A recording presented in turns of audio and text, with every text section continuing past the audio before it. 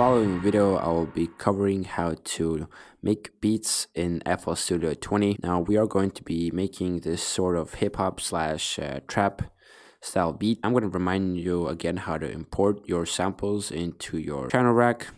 I'm going to show you how to add variation to your beats so they don't sound robotic but they sound slightly uh, more human, I guess. So uh, starting off the lesson, let's just, you know, open up our channel rack and uh, we have our four default sounds here, which uh, gonna be honest with you, I don't know who uses, but you know, they're here. What I'm gonna do is I'm gonna change the project tempo to 140. It's kind of this nice uh, trappy tempo. And uh, I'm gonna start importing my samples that I like, right? Now, I am going to import uh, three main sounds that are not included in FL Studio 20, but these sounds will be included in the course files. So what I'm going to do is I'm just going to drag and drop sounds into the channel rack.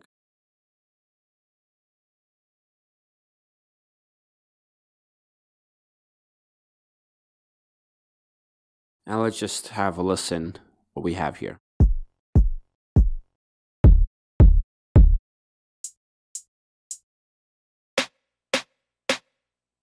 So we have three different sounds, two kicks, one hi-hat, and a snare.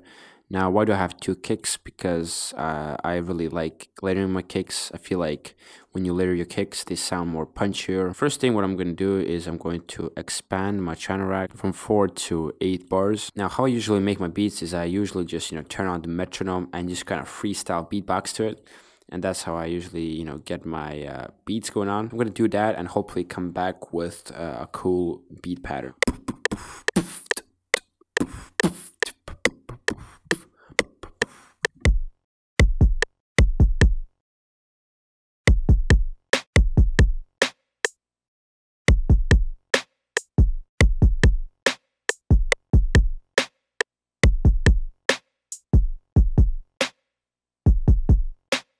All right, so that's the idea I had in, in my mind. Now let me just add in more uh, variations of the hi-hat here.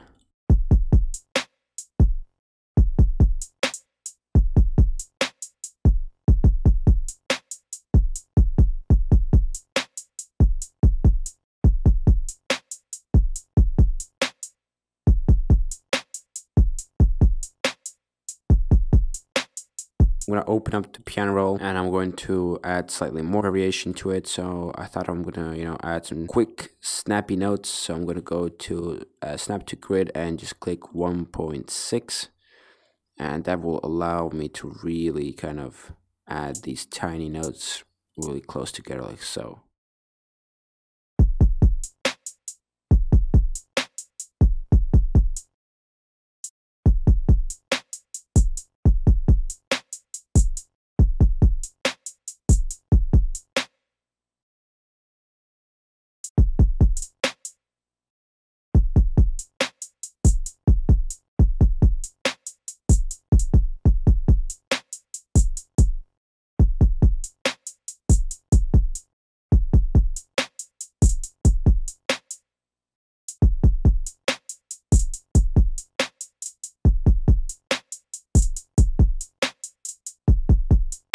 All right, cool. Switch back to main. So there's also another way how to uh, add variation to a beat, and that is uh, by changing the velocity of your notes, changing the panning of your notes, the pitch of your notes, etc., etc. So I'm going to show you a cool tool uh, that's included in FL Studio. If you click Alt and then you click R, you're gonna end up with a piano roll randomizer. This is really sweet because you can really randomize your uh, your notes in a really, really interesting way. But we're going to just stick to uh, this section here where we will be messing around with uh, the velocity and the panning. So I'm to, you know, just tweak the panning. Something like this. Tweak the velocity to something like this and see how it sounds like.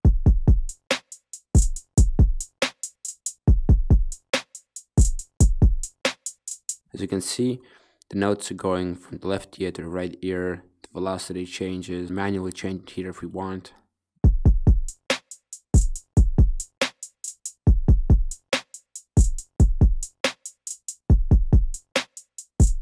All right, I'm happy with that. We can close all the windows here. And also another way you can, you know, add more groove to your beat is by just adjusting the main swing here. Pretty much going to just shift all the notes slightly to the right. And uh, a good example of this is, is if I select it, uh, kind of zoom out here, go to none, hold shift, slightly shift the notes. So if they're perfectly on grid like this, they're going to be slightly off grid. So I'm just going to have them manually slightly off grid like that.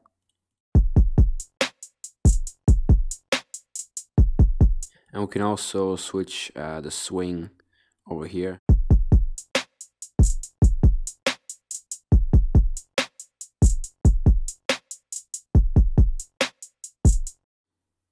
Now, I think that's about it for our uh, hi-hat. I'm gonna Control C, Control V to have a double kick. And I'm to click on this kick and I'm going to slightly remove the tail of the sampler here by adjusting the quick fade out.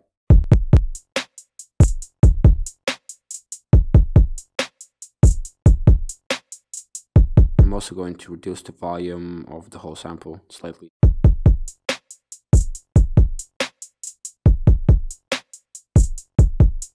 I'm going to normalize the snare to slightly make it louder.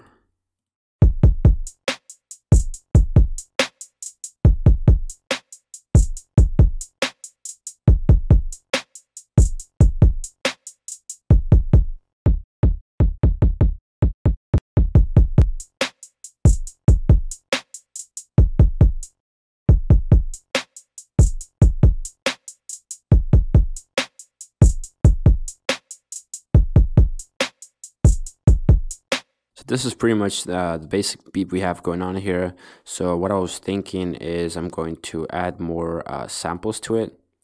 So this time I am going to be using the built-in stack samples in FL Studio. So to access them, again, let's go to browser, let's go to packs, drums, ModeAudio, or drums, depends what you like. I'm going to go to ModeAudio. Then I'm going to just go to percussions and see what they have here and uh, hopefully we're gonna find some cool sounds that we can work with.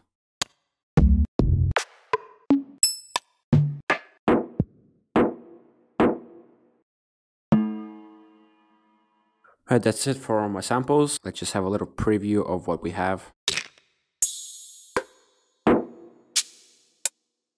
Not sure if these samples will even fit to this beat, but you know, let's hope for the best. So pretty much I'm just going to start off with the first sound and just see where it might fit. Then once I found the correct spot for it, I'm going to move down.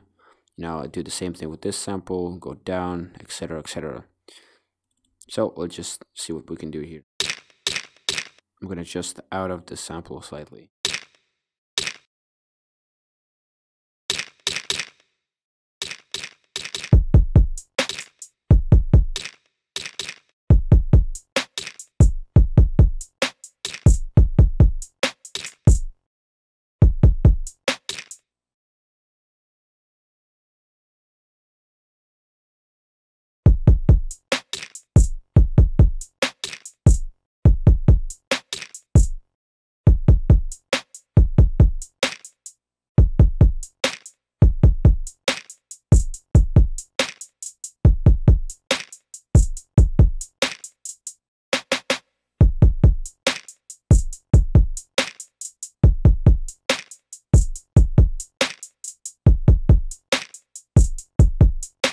Ended up uh, using the sample on the snare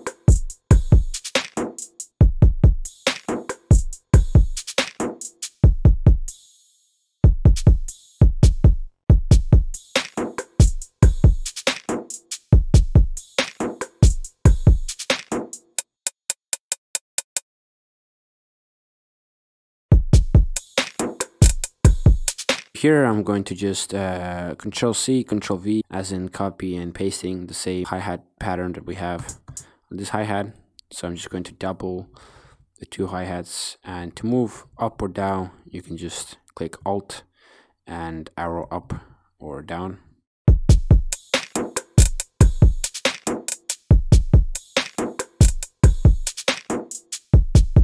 So you can really see the difference when there's just a singular hi-hat and two hi-hats.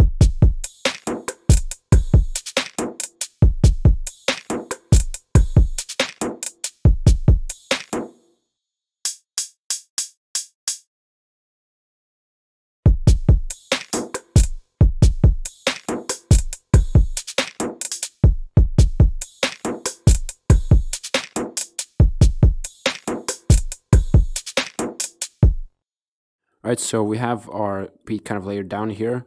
What I want to do is I want to do the same process I did with uh, this hi-hat where I adjusted a lot of the velocity and the panning. So I'm going to do the same thing only with these other sounds. Now I'm not going to, you know, literally uh, adjust every sound. You know, on some sounds you just don't need to adjust anything, right? But on some sounds we definitely need some work and uh, yeah, let's see what we can do here really. So maybe we could adjust the panning. So the first time when it hits, it goes on the left. And the second time it hits, it goes on the right.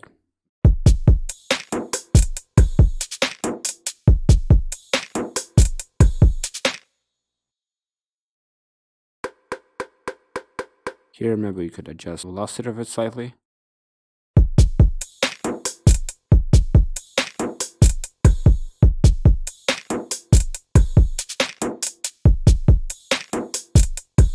You could adjust the positioning of it as well. So again, go to snap to grid, click none, select it and just move it by sh holding shift and arrows.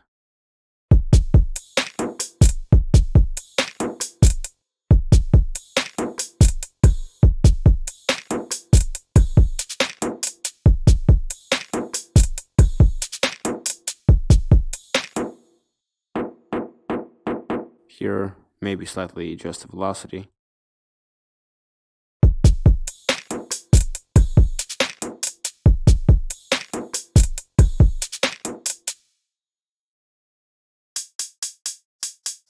Here we can adjust the swing as in this thing over here.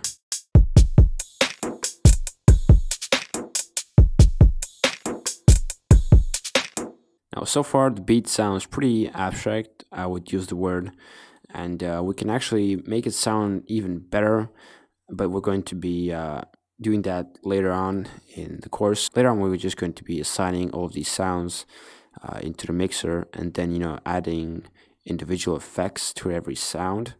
So we could add a bunch of delay and some you know samples some reverb some stereo imaging you know cool stuff like that. But that's going to be later on in the course. And uh, in the next video we'll be learning how to make dope melodies in FL Studio. So hopefully you learned a thing or two about beat making in this video and uh, join me in the next video guys.